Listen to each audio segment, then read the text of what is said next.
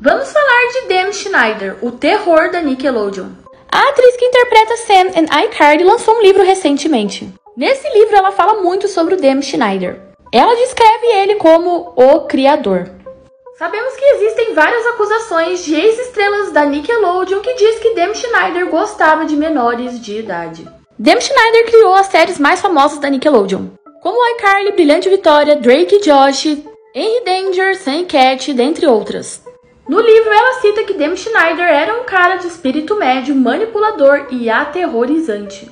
Ela diz que ele obrigava ela a beber álcool sendo menor de idade, fazia ela usar biquíni quando ela não queria e xingava muito ela por erros minúsculos. Ele também sempre incomodou os atores nos intervalos das gravações. Ele tinha olhares maliciosos, principalmente para as meninas. Olha só, Ariana. No livro, ela também confirmou a obsessão e fetiche bizarro que Dan Schneider tem com pés. Toda a série dirigida por ele, ele tinha que pôr alguma cena bizarra com pés. Coisas assim, absurdas. Olha só.